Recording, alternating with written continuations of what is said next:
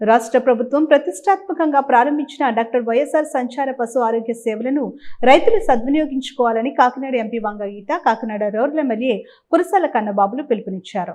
కాకినాడ వైద్యనగర్లో గల కాకినాడ రోడ్ల MLA Kurasala Kannababu camp కార్యాలయం వద్ద డాక్టర్ వైఎస్ఆర్ సంచార పశు ఆరోగ్య సేవా వ్యాన్ ప్రారంభోత్సవ కార్యక్రమం జరిగింది.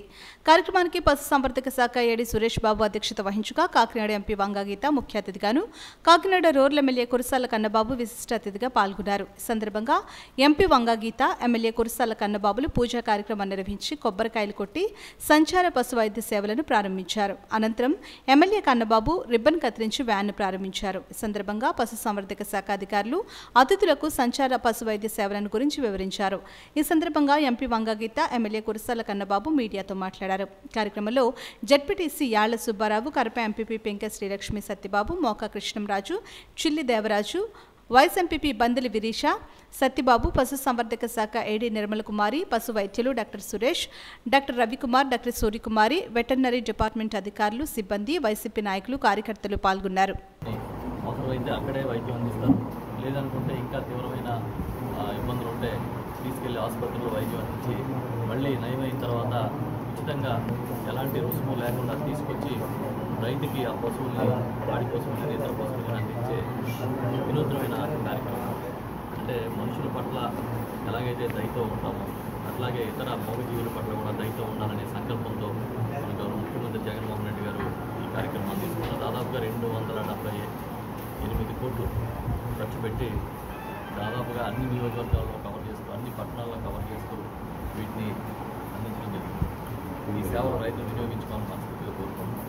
ఎందుకంటే గతంలో ఏదైనా పశువుకి చిన్న అనారోగ్యం చేసిన దిక్కుమొక్కలేని కానీ ఇవాళ రైతు భరోసా కేంద్రాలన్నింటిలో కూడా పూర్తిగా పశు వైద్యాన్ని అందుబాటులో తీసుకొచ్చి ట్రైనింగ్స్ ఏర్పాటు చేశారు మినిమం మందులు ఏర్పాటు చేశారు యానిమల్ హస్బెండరీ అసిస్టెంట్ని ఏర్పాటు చేశారు. పశు సంపద మన అనుసంధానం దాన్ని కాపాడుకోవాలనే లక్ష్యం. పాడి పంట అనే మనం ప్రాధాన్యత ఎప్పుడూ ఉంటుంది. ఆ విధంగా ఈ ఈ వైఎస్ఆర్ పశు సంచార సేవ ద్వారా పశువులకి కూడా మెరుగైన వైద్యము సత్వర వైద్యము అందడానికి చర్యలు తీసుకోవడం జరుగుతుంది.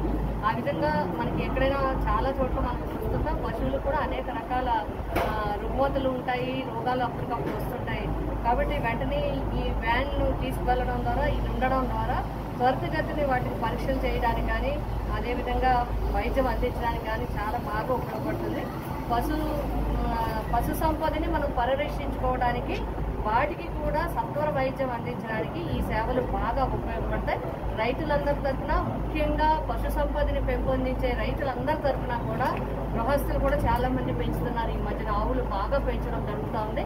వారందరి కూడా గౌరవ ముఖ్యమంత్రి గారికి హృదయపూర్వకంగా మేమందరం కూడా ధన్యవాదాలు తెలియజేస్తున్నాం.